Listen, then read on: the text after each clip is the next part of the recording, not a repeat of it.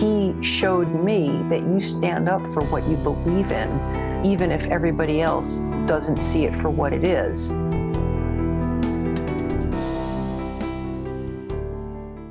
Welcome. This is Whistlekick Martial Arts Radio episode 594 with today's guest, Dr. Jean Kanokogi. I'm Jeremy Lesniak, host for the show and founder here at Whistlekick, where everything we do is in support of the traditional martial arts. If you want to see everything we do, visit whistlekick.com. That's our online home. It's the place to find our store. And that's one of the ways that we fund all the things that we do and give you for free. So if you want to support us, if you want to make a purchase at the store, maybe buy a uniform or some gear or a book or a shirt, you know, a bunch of stuff over there. Training programs. Use code podcast15, P O D C A S T 1 5.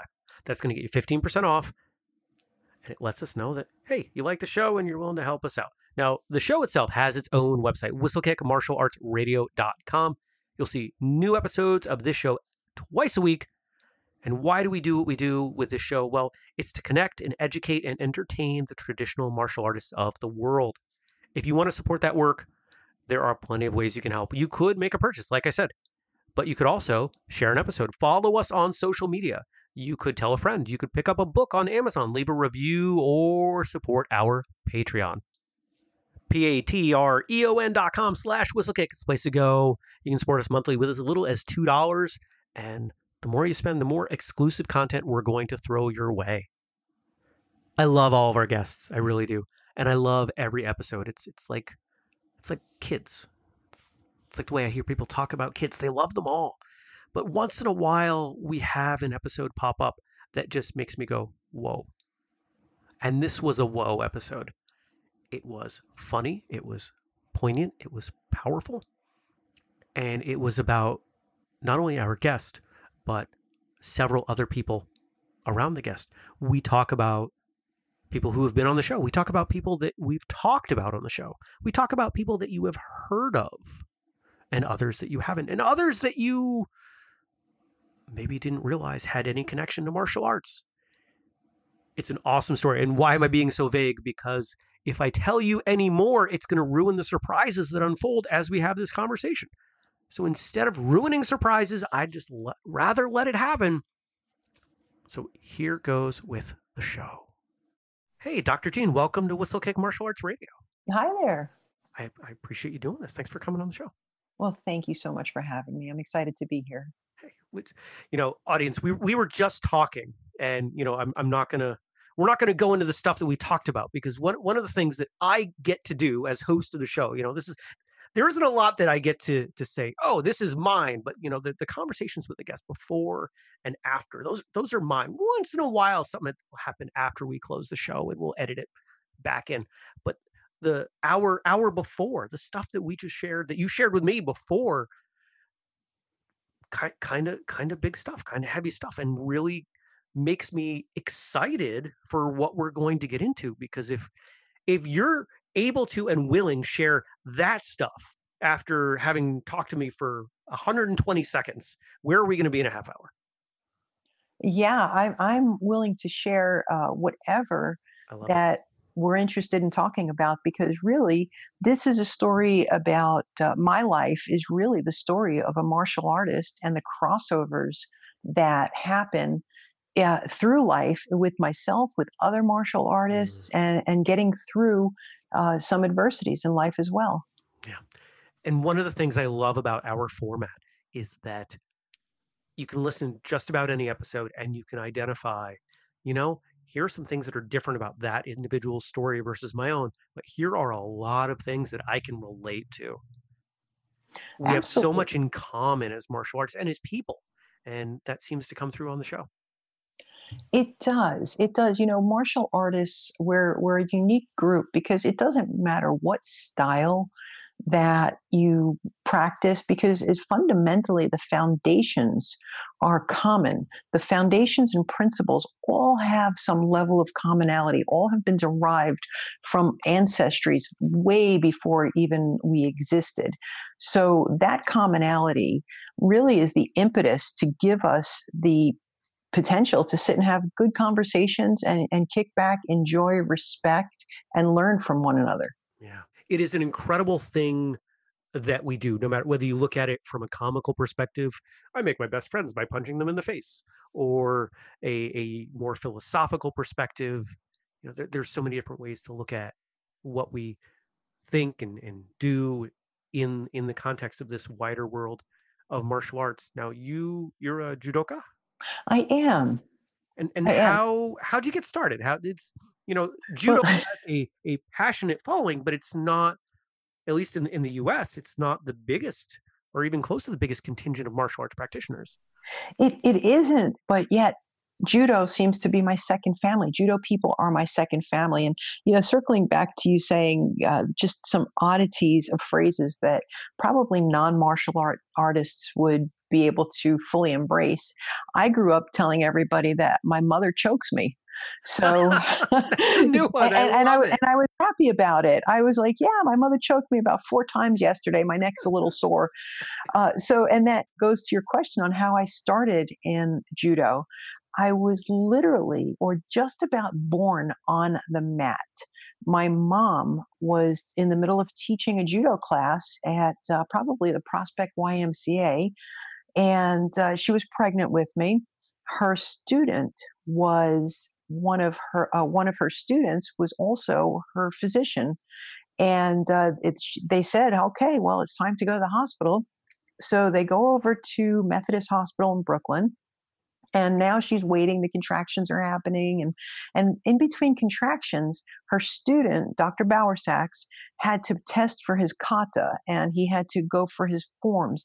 So uh, his form practice and understand you know all of the different throws and what she did is in between contractions was go over his kata and they were in the delivery waiting area practicing gripping each other doing the steps uh, I don't know if he threw her while you know and induced labor by by throwing her a few times.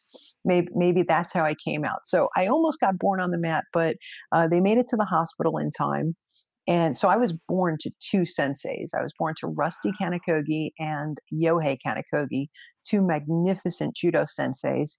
Rusty, my mother, and we'll talk about her story in a little bit, was the mother of women's judo who got women's judo into the Olympic Games. I, I was but literally biting my hand as you're talking through that story. The the idea of martial artists transitioning martial arts practice into a delivery room, it makes sense. But I can only imagine, I would love to have been a fly on the wall to watch the reactions of the doctors and nurses around because who does that? Especially then. Who? Especially in the late 60s, a doctor gripping his patient and tossing her in the air while she's in labor or holding her in, in a kata form, or who knows if, if he had to simulate an arm lock. Could you only imagine the looks of the hospital ah. staff of what is this physician doing to his patient or his patient, my mother, t- chucking him up in the air and going for a throw? This movie needs to happen just so we can see this scene. 100% i believe i I believe it. that there there's plenty of material that the world does need to see Mm. from this story so that's quite the genesis you know al- almost literally born on the mat and I, I would imagine given that upbringing or rather that that origin whether or not you had a a choice for judo you probably just kind of fell into it before you were even aware of the option. Yes. It just Uh, if if they if they're in training, you're standing there in a crib on the side, whatever it was, and just start mimicking. 100% you know children children are sponges and they learn they imitate they they really are the best absorption of knowledge because I didn't even realize now, uh, all these years later, I had no idea how much I really learned, how much I remember, how much I absorbed. So, as a child, watching, uh, going to my parents teaching their judo classes, uh, I was off to the side rolling around on the mat, and I had tons of different babysitters because everybody that were the judo students were part of my judo family. So, aunts and uncles up the wazoo uh, that were the judo students, and we became one big judo family. Uh, subsequently, the name of our dojo was Kyushu Dojo. Uh, Kyushu is a southern island in Japan where my dad is from. And um, just going off a little bit on a tangent, uh, my mother met my father in Japan while she was training in judo. And my father is of samurai lineage. So, um, all the way in southern Japan, uh, matter of fact, there's a castle, uh, I think it was in the 14 or 1500s, that was called Kanokogi Castle. And now it's since been named Kumamoto Castle. Uh, there was also a cave in Kumamoto where Miyamoto Musashi wrote the Book of Five Rings. But going back to me roly polying on the mat. not not that you were born to any kind of incredible legacy to hold up for anything. Man, that's those are some big shoes to fill.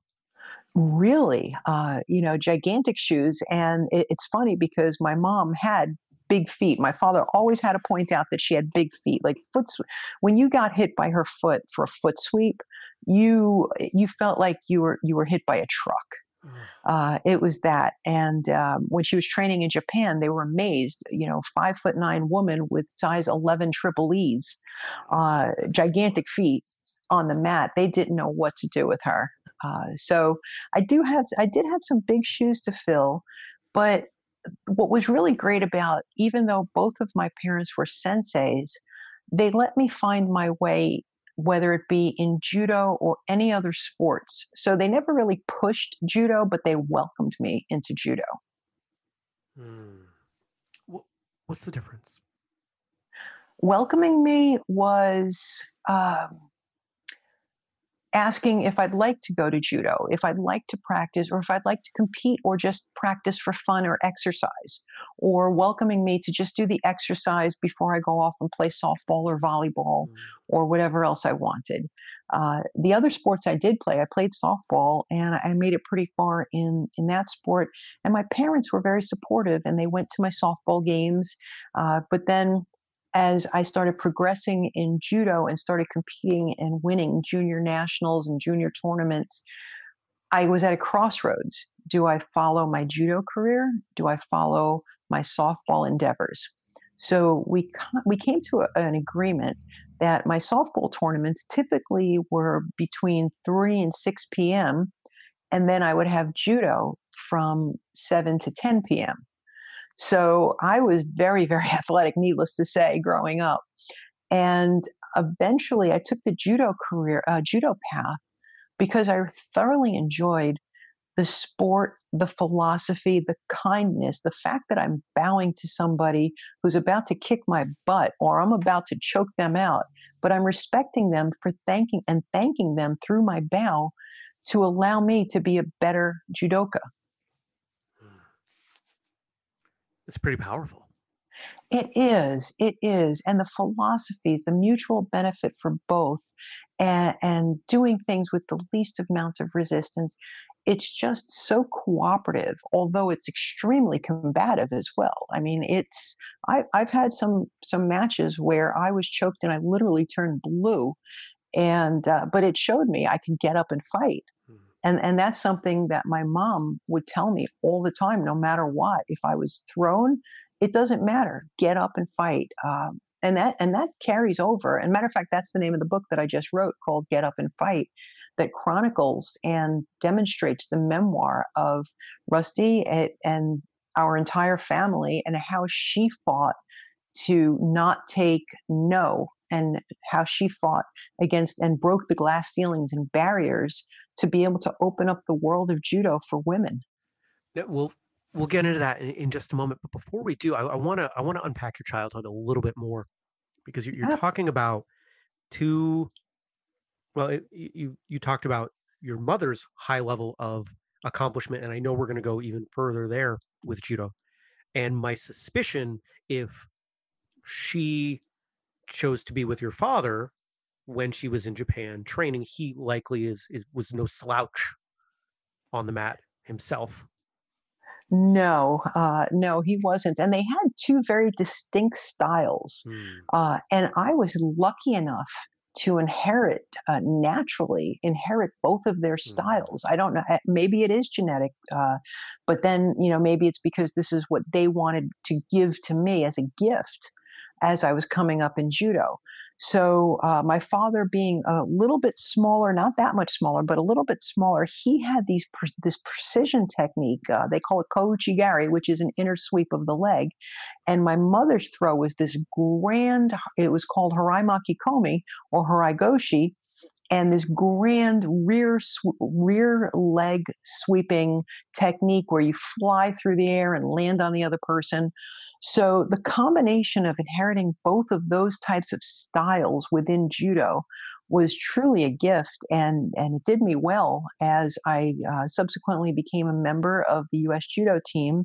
I competed na- of course nationally and regionally but also internationally and uh, was afforded to compete against people who went on to be Olympians and went on to be uh, gold medalists. And, and I trained with the best of the best. And these people were actually also pioneers of women's judo because they were competing even before judo was in the Olympics. Wow. It's it's a lot to carry. And, and it, we seem to have this recurring theme of, of big shoes and heavy weights on shoulders. Were you aware of the uphill battle for judo and specifically for women's judo when you were a kid?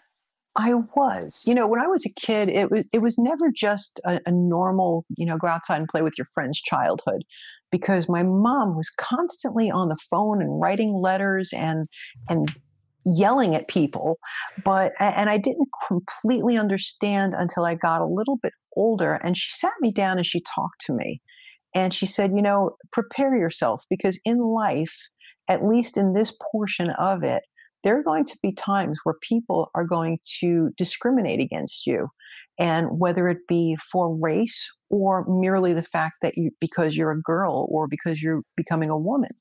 And it's not personal it's their problem so sometimes you will have to make it your problem and fight that discrimination and only ask for what is fair so that that's how she led me uh, in in that heaviness of trying to fill shoes. So uh, just to lighten it a little bit, and, and you know, there's a lot of anecdotal anecdotal uh, funnies. I don't know if you remember the commercial, but years ago, I, I'd say in the 80s, a karate gentleman came out and kicked the, the daylights out of Samsonite luggage, and the title of it was Kanokogi versus Samsonite. So that's my dad's commercial. So not only did mm-hmm. was my dad a judo expert, he was a karate expert, and he filmed that commercial that to this day everybody still remembers. Oh, that's really cool. I'm going to try to find that on, on YouTube, see if we can link it. Oh, absolutely! It's it's always it's all Oh, over great. YouTube. It's still a very popular uh, part of, of viewing when people look up Kanokogi. That pops up as well. But you know, going going back to uh, my judo career, it opened a, it, it opened my eyes to a lot of uh, international things. I went to compete in Japan for the first time, and when I was in Japan earlier, you had said you know judo's not as popular in the U.S. as it is in other countries. And by the way, you're absolutely right. I think there's like there's millions of competitors and judoka all over the world except in the U.S. Right. So I go to Japan and I was treated like a celebrity. Uh, kids were asking for my autograph. Oh, I, I'm on the U.S. team. They're they're banging drums. They're coming over and they just want to say hello. It, it was amazing. And even in Europe, they had the British Open. We'd go to Crystal Palace every year, and people just knew we were going to a judo tournament. Uh, here, you know, you want run around in a in a white robe uh, through the streets of New York, going to judo class or something. They would just look at you like Halloween's not until October. yes. We've had a number of guests on the show who have been involved in judo, and they've spoken very openly, very passionately about the frustration that they have with the United States' place in the global judo landscape and this seeming this this frustration of karate and, and taekwondo being so strongly represented here in the US and everything else vying for such a small percentage and, and this this seeming weight. And yet, if you know your history of martial arts in the United States, judo really should be number one. You know, if you think back to Teddy Roosevelt and his passion for judo and for jujitsu when he was in office. Absolutely. You know, it, it's funny because uh, as my mom was fighting for Title IX uh, with the Women's Sports Foundation and alongside Billie Jean King, uh, she had the opportunity to meet several politicians, and one at the time was Hillary Clinton. Her first thing she asked Hillary was, Where's judo? How come judo's not in the White House? And she explained about Teddy Roosevelt and his passion for judo. So uh, the question has been asked. So may- maybe it, it's in the future. Uh, judo, unfortunately, is extremely combative and, and it bewilders me because the MMA and the PFL, that's so popular. So at first I thought, well, maybe because judo's so physically combative, you can choke someone, you can arm lock someone, uh, whereas some of the other styles might be prettier in the media. That's not the case any longer because people want to see the fighting. So what else is it? And, it, it really is bewildering why it's mm-hmm. not so popular. And, but I mean, in the United States, women's judo has come a very long way. I, I, do have to credit USA Judo now to, as opposed to who USA Judo was uh, back then. Uh, back when Rusty was fighting to get women's judo into the Olympics, USA Judo was completely against her. And they even uh, told her, well, one of our re- reasonings is, well, you know, what if your lady parts get hurt? And, you know, she retorted, well, your man parts are on the outside, our lady parts are on the inside. What's the problem? I'm trying not to laugh because if I if I, if I go, I'm just I'm not going to come back for a few minutes. That's hysterical. Because, I mean, if you think about the, the flawed argument, yes, it was the flawed arguments. It was the good old boys networks that, you know, women, what? Shouldn't you be in the kitchen? So, you know, Rusty, yeah, you know what? I, I was happier with her out of the kitchen. I mean, granted, she made a couple of dishes, but she was much better at being the mother of women's judo and my sensei and my mother than, uh, than the Stofers stovetops. nice. Nice. But one thing I have to tell you, you know, going into food, yeah. Rusty did one of our favorite pastimes was to go to Nathan's and grab a hot dog in Coney Island. As a family, we would go down to Nathan's.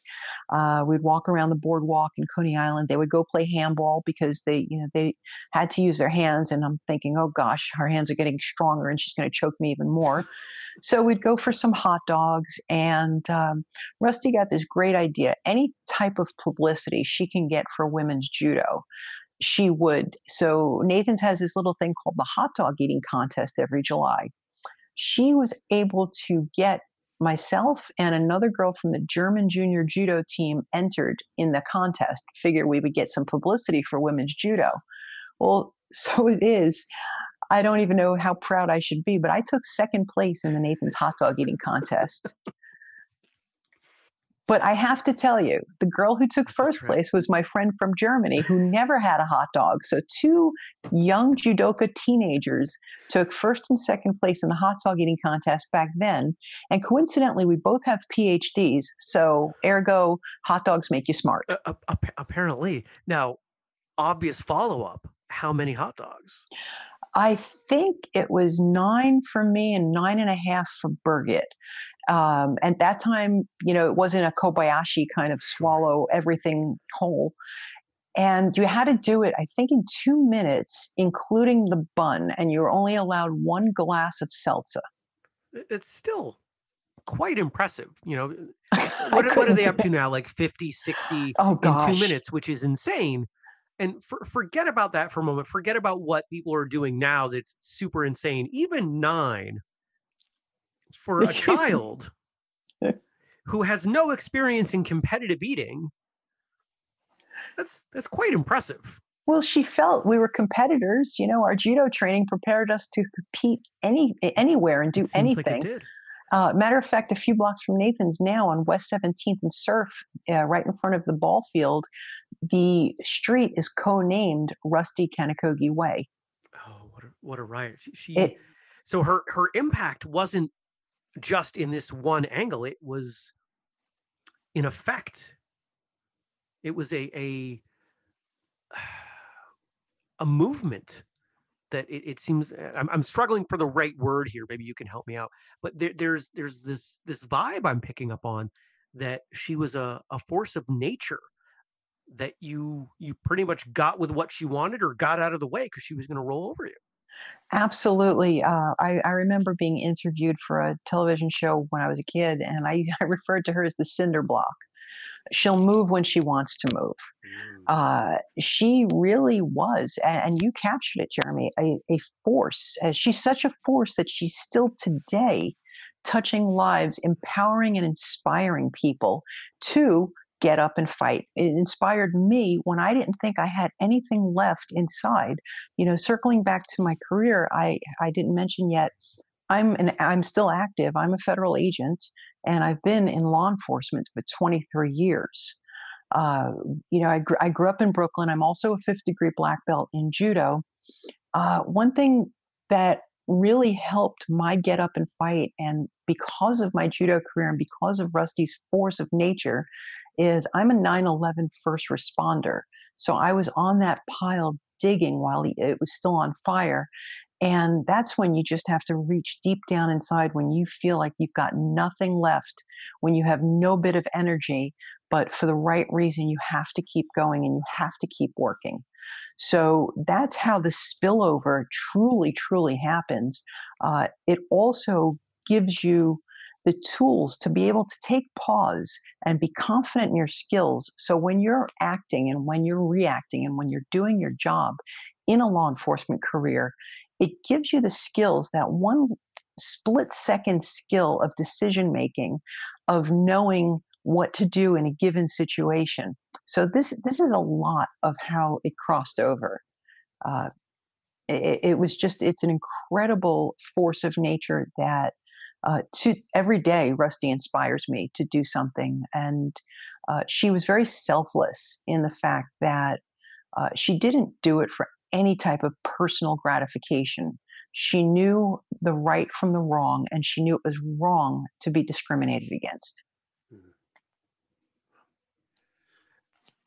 Did you ever feel like you were growing up under a shadow? It seems like with with, with these larger than life events, it could be hard to form your own identity. Was it was it like that? I definitely grew up in the shadows of Rusty.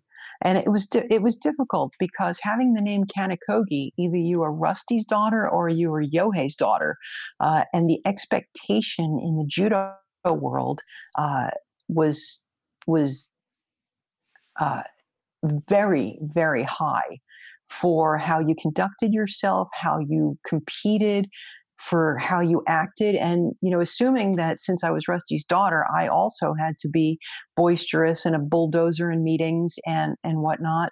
But then assuming that uh, given that i was ryohei's daughter they thought maybe i was more quiet and, and um, uh, stayed more in the background. So i had to really find my own identity as a, in a careful balance uh, I'm the first one in my immediate family to go in a career in law enforcement. So I did find my way because I was able to find a career where I can still help people, I could positively affect lives.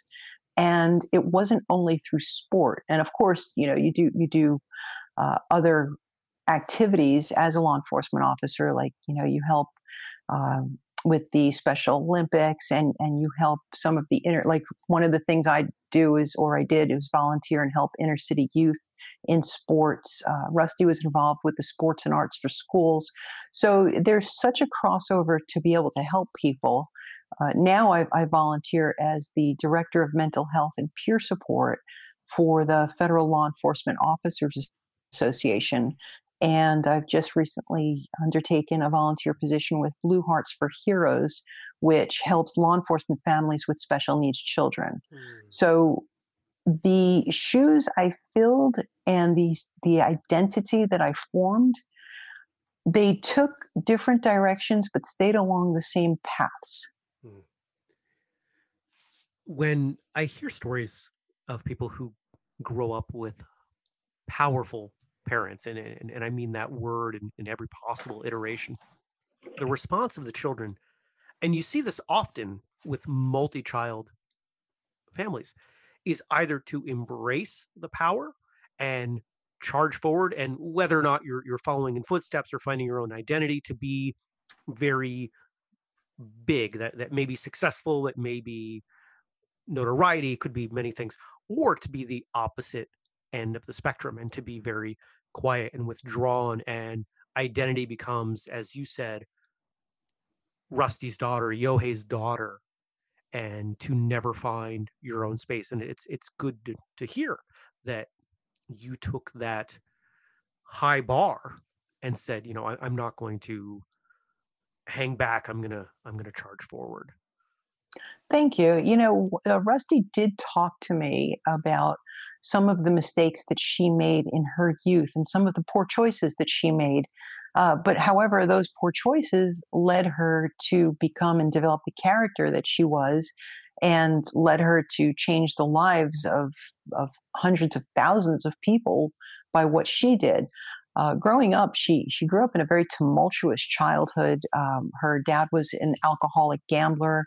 Her mom was constantly working in Coney Island and, and got her hand mangled and uh, got hooked on the painkillers to offset the pain because there was no sick day. There weren't, weren't any sick days back then. So she ran around the streets with no guidance. Um, she had babysitters, which unfortunately they were uh, members of the sh- what they called the freak show back then, but uh, that was the Pinhead Sisters and Milo the Mule Faced Boy, which that's when Rusty started developing her character because she realized that even though these people looked different, they treated me with respect and love. And she felt like they were part of her family. And she started formulating her own values.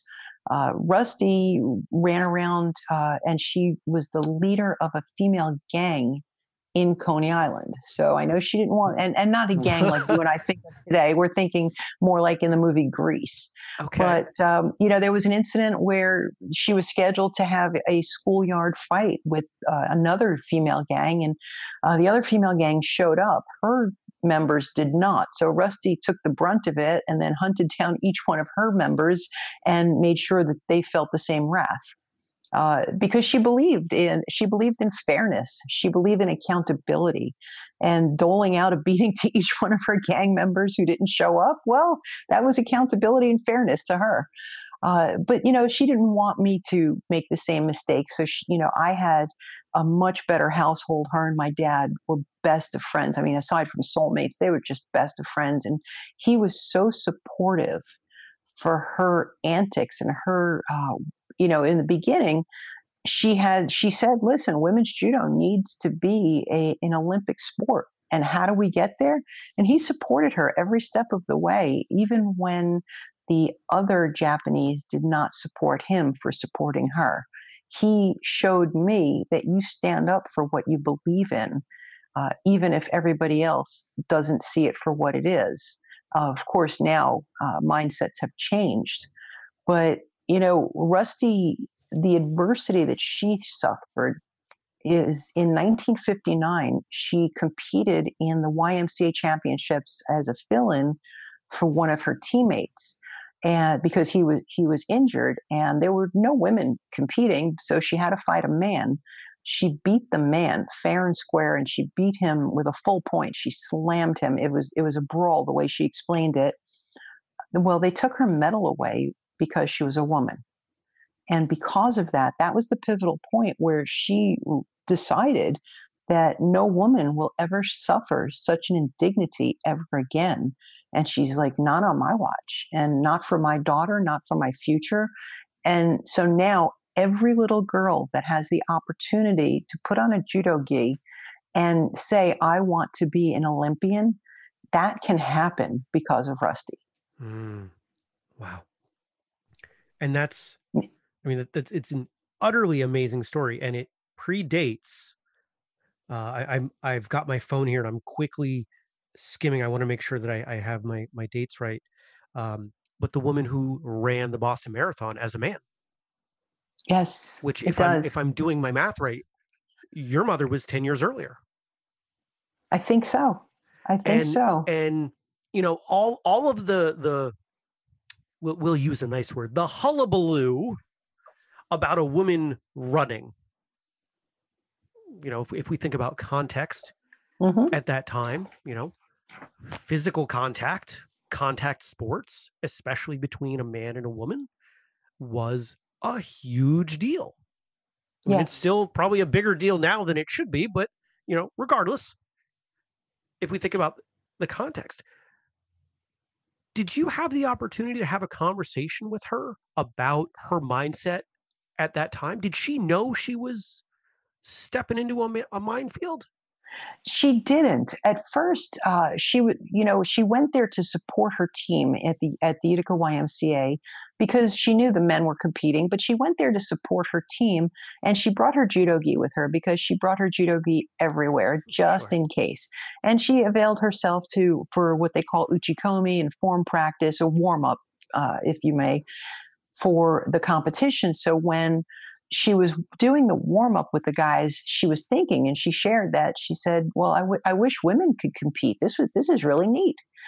And when she had the opportunity to compete, then she she was told, "Well, just don't call attention to yourself. Just pull pull an even score." And then she's thinking, "Well, why should I do that? I train just the way the same guys train." And in her head, so she tried to hold back, and then she just couldn't. It was just her body um, attacking, and she heard her team cheering for her. So when she won, her she did share with me. She felt like, "Oh wow, I won! Oh crap, I won!" so now what? Now what's going to happen? And she even, you know, I highlight this in the book because the book, by the way, is written a lot in her telling her story. So you can hear the, the capturing of Rusty's voice. So when the tournament director called her over and wanted to have a word, she thought, well, is this guy going to give me a compliment? And then right away she said, oh boy, um, maybe I'm in trouble for something. And uh, she was so excited that she can actually fight in judo in a competition and be rewarded as opposed to given a citation. So, you know, from her gang days. And when the tournament director, you know, asked her, and he said it in a very snide, like condescending tone, if she was a girl, uh, like she did something wrong. So that, um, I think I'm going a little off topic, but you're that that's how It's- that's how Rusty described it to me, but she didn't know she was stepping into a minefield of uh, women's rights. She didn't know, you know, at that time, I think Gloria Steinem was fighting for equality and started Ms. Magazine. So she didn't have that mindset like, I'm going to change the world. But she also, that day at the YMCA, when they took her medal away for just being a female, she said, No, this is not right. And it goes back to uh, her childhood of her babysitters being made fun of for looking different. She said, That's not right. When she married early in uh, to just get out of her house, and she had to go down south to uh, get the divorce early on in, in her life. She was sitting in a, a restaurant, and there was an African American woman who had her hands full and was trying to open the door with her foot, and nobody got up to open the door for her. So Rusty did. And needless to say, the horrible comments and words that flew out of the local's mouth um, down south when she opened the door for the African American woman. And again, of course, Rusty left and, and waved a, uh specific finger in the air, but realized that wasn't right. You can't have that. And matter of fact, she spent a lot of time with her aunt, who uh, who was a painter, who's my great aunt. And my aunt was always in the shadows of her husband, who was also a painter, and he was getting all the notoriety. excuse me. And she was supporting his career, but she was just as good. And my aunt, Lee Krasner Pollock, and supported her husband, Jackson Pollock.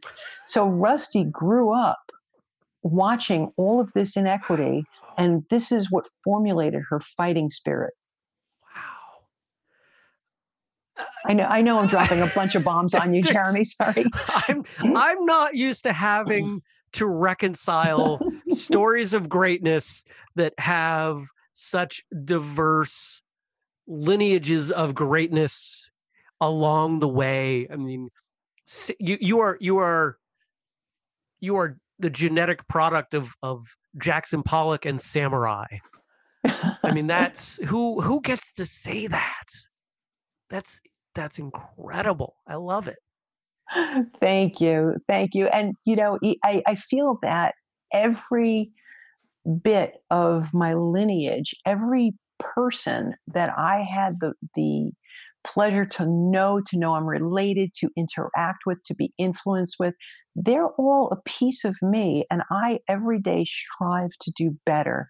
I every day strive to positively affect the people's lives that I can possibly touch, whether it be direct or indirect, through my work or uh, through whether I'm teaching uh, emotional intelligence or whether I'm teaching interviews and interrogation, just to positively affect whatever lives that I can, because that's what Rusty wanted to do. She wasn't looking for awards, she wasn't looking for anything besides what. What, what was equal. She didn't want more. She would not settle for less. Mm. Uh, when she was told that, and, and, by the way, I was part of some of these lawsuits uh, to file against the, along with the American Civil Liberties Union, against the United States Olympic Committee and the International Olympic Committee, and uh, whomever discriminated against women in sports and women in judo. Rusty made sure I was included in this history so I understood it. And one of the things I asked Rusty when I was putting together the book uh, years ago, when she and I sat down to talk about it, I asked her, What do you want me to leave out? What do you want me to, to scrub? And she said, Nothing, because if you don't put the history in it, there's a possibility history can repeat itself. And women, once again, will be set back to the dark ages. Hmm. I'm wondering because if, if if I've got my dates right, your your mother passed away in 2009. Yes. So late enough that she would have known because it was Ronda Rousey was 2008 her Olympic medal, right? Yes. Okay. Yes. Uh, Ron, I believe Ronda got her bronze in 2008. That, so that's, that's what my memory's saying. So unfortunately, not long enough to see what she did with that, which has been an utterly amazing career over the last 13 years. Absolutely. T- touching touching so much and you know, for well, a time uh, not that we talk MMA on this show, but it's we have to acknowledge that during her tenure in the UFC, she was the biggest draw. Which, you know, how how how often does a woman get to claim, you know, they are not the biggest in their division, but the biggest? That's and, true. Well, go. Uh, sorry to interrupt you. Uh, just a fun fact yeah. is uh, Ronda's mom, is Anne Marie, uh, was on the judo team when Rusty was coaching. We were like uh, we had several different teams, and Ronda's mom was the first uh, woman to win, first U.S. woman to win a world championships. Mm. So, I mean, she was a tenacious fighter. She's a brilliant, uh, she also holds a PhD. She's a brilliant woman, uh, a very warm, kind, wonderful woman uh, that I, I, consider my friend. And uh, we were on the US team together. Uh, Rusty cool. was one of the coaches, of course, you know, not her judo instructor, but one of the coaches. And not too long ago, a couple of years ago, I got together with Anne Marie and, and Ronda. And Ronda's just, you wouldn't believe it if you saw, you know, her persona from television, but she is just one of the nicest people. I, I just feel like when I'm talking to you, I can just close my eyes and give her a hug because she's she's that yeah. sweet. And Everyone that I've spoken with who has met her has said that yeah, she she's just terrific, absolutely terrific. And I read an article actually. I saw an article that said, um, I think it was an article about Ronda that it said if there was if if there would be no Ronda without Rusty. And, and that's and that's kind of what I wanted to set up. And and this is absolutely not to take anything away from from from Ronda Rousey or Kayla Harrison or any of, of, of the male competitors. Nothing. I'm not trying to take anything away what I, I wanted to set up was a question towards her later years because she she clearly Rusty was out to do some amazing things. And you know I don't know how long the list was but it seems like she got a lot done. As she got older, and I'm assuming spent at least some time reflecting, what did she share with you about how she saw the transitions that she helped and in many cases spearheaded.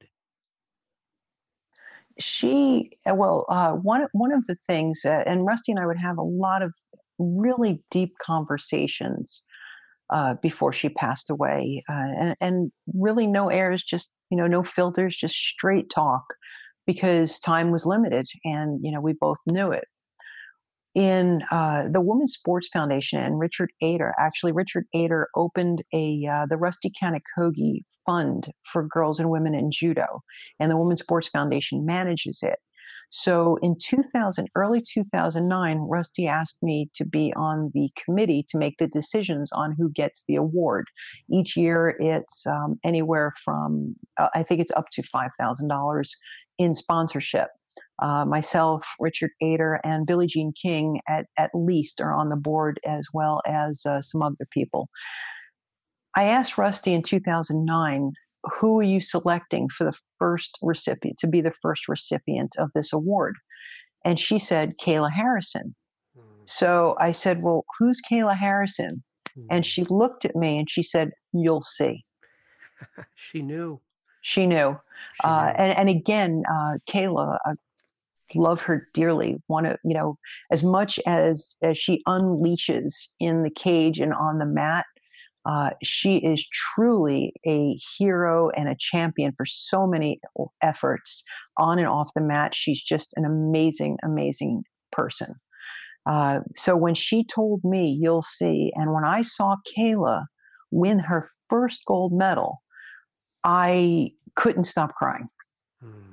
because that gold medal, granted, Kayla trained her guts out for, but a little, little piece, one, one gram of that medal, that was Rusty's.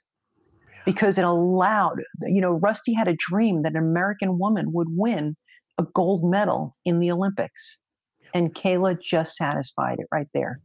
And, and Rusty knew. For for listeners who who may not know, you maybe you recognize the name. Kayla Harrison won Olympic gold in judo in 2012 and 2016, and was the first American woman to do so.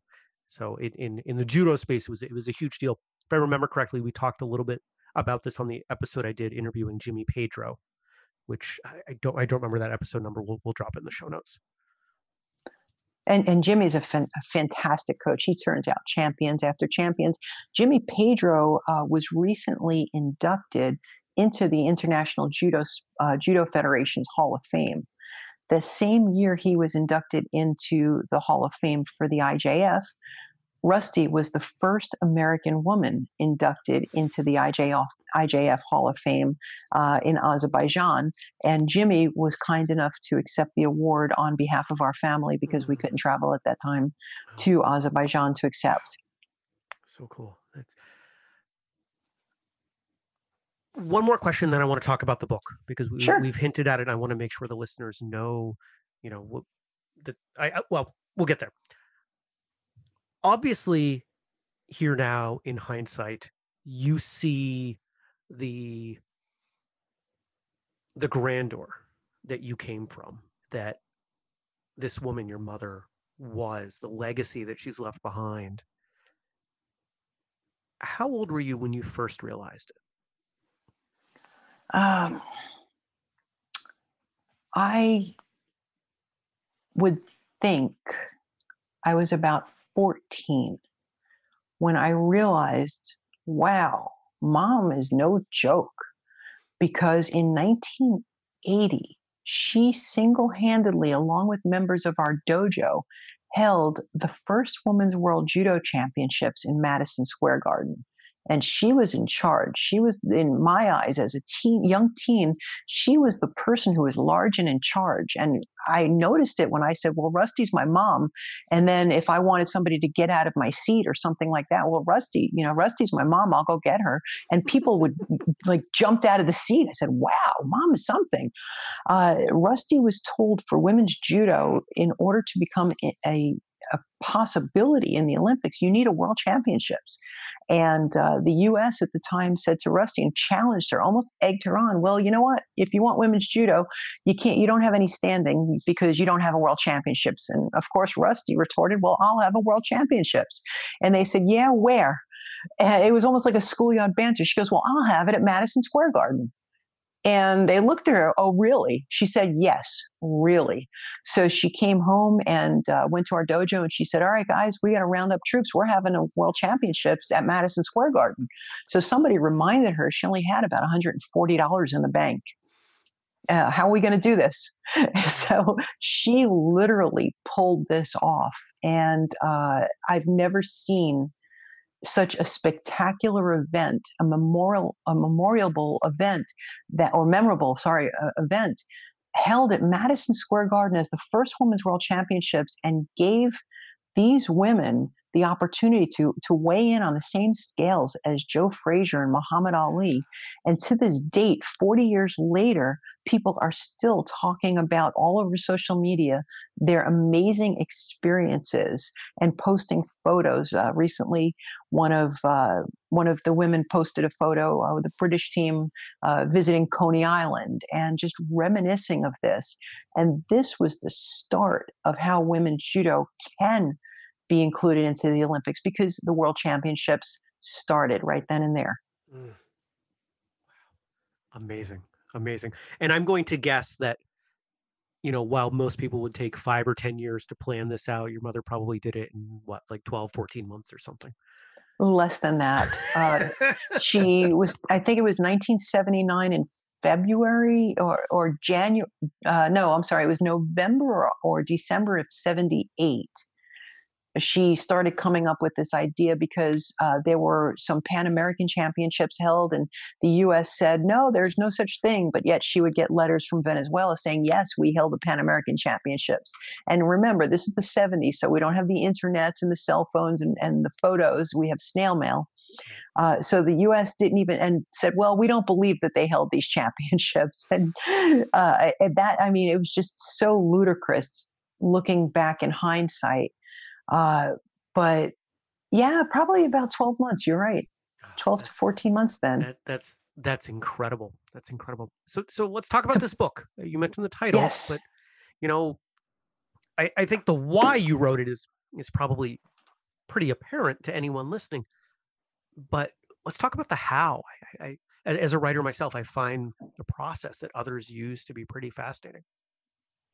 The why is part of a promise. I had three promises before my mom passed away. Uh, one was to finish my PhD, which I did, uh, and it's a PhD in psychology. Two was to always take care of and look out for my dad, which, knock on wood, he's very healthy, very happy, and very well fed because I always bring him some good food. Uh, and the third was to get her story out. She said, This story needs to be told. People need to know the truth people need to know what happened. So back in about 2004, 2005, she started writing her manuscript. She started just free writing, pen to paper, a narrative of her life. She would send me chapters, we'd clean it up, we'd put it in order, uh, we would take some things out. So she and I kind of mulled through it, uh, 2004, 2005. And then she thought, okay, I can get this published. Maybe she worked with certain writers. And every writer she tried to work with, it was too fluffy. It was too once upon a time. And they wouldn't capture Rusty's voice because mm. the writer would sit down with her and she would say something like, Oh, you know, this this Mashigana. And they're like, What's a Mashigana? Oh, get out next. you know, or or call somebody. Uh, I don't know if I can say certain certain Yiddish terms on the radio, but I, I don't I don't think the censors at, at Apple Podcasts pick up on Yiddish, so so have at it. I'll, I'll know yeah. what you're saying. Yeah, yeah. So you know, the Michigano, or, or this guy was a real putz, or you know, so. when the writer would say, "How do you spell putz?" Oh, next, get out. And then on top of it, it was tough because not only did you have the Yiddish terminology, you had the Rustyisms and the Brooklyn terminology. And then you pepper that with the Japanese words and the, the Japanese terms of judo, and then Rusty's Brooklyn Japanese on top of it. Mm. You know, the only one who understood her was me because I speak all of that. I grew up in all of that. Uh, and so she told me, "You've got to get this story out. People need to know it because it's not just a judo story, it's a story of love for sport, love for humanity, love for my dad. Uh, it's a love story how he followed her back to the United States. And also, it inspires people to get up and fight. And whether their fight is to go outside and get some fresh air, to get out of bed, to go to the gym and work out, whatever their fight is, it will inspire you because she was just an ordinary person uh, growing up, making the same mistakes, tripping over her own feet, but yet she was able to get up and fight. And uh, this story had to be told. The other thing it does is one of Rustyisms is in life, either you are the hammer or you're the nail and she told me, you be the hammer. But being the hammer, people have this misconception that, you know, the hammer goes around bullying. No, the hammer is there as a supporter. The hammer is there to create because once you hit the nail, you're creating something.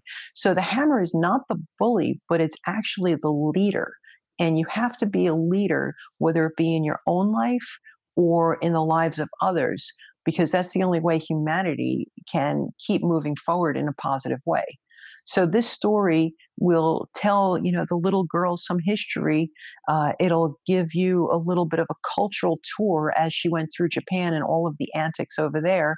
Uh, and it also will maybe inspire you to go do something and go change li- lives of other people through whatever your talents are. Mm. Amazing. Where, where can people find the book? You can get this book uh, right now, the 40th anniversary of the First Women's World Championships, special edition. It's very limited. You can get that at www.rustykanokogi.com. Uh, you can get the Kindle version on Amazon. And soon we're going to have a global release uh, to be determined sometime in May or June. But on rustykanokogi.com, you can definitely order this book, and we also have some challenge coins. Cool. Nice. Wow. Th- this has been phenomenal. I don't I don't think I've laughed this much in an interview in a long time. Thank you. I love to laugh. If we, you don't laugh, I mean, what's the point? Exactly. Exactly. Life is too ridiculous. And of course, the things that we do as martial artists are even more ridiculous than what the average person endures. You know, take it back to one of the things I said at the beginning, we, you know, we punch our best friends in the face or we throw them around and we wear pajamas and it's, it's exactly. you know, silly, but in the best way. You know, one of the biggest belly laughs I have to tell you, Rusty and I had was uh, we were doing Uchikomi, the form practice, and she was supposed to be anchored by two other people. I didn't realize that she was taking a quick break, so I came in on a technique and I threw her through the wall of the dojo. And we're both sitting there, sheetrock on our head, and laughing. Not we couldn't even catch our breath laughing. Nobody else knew what to do, whether to help us, to look away, to laugh.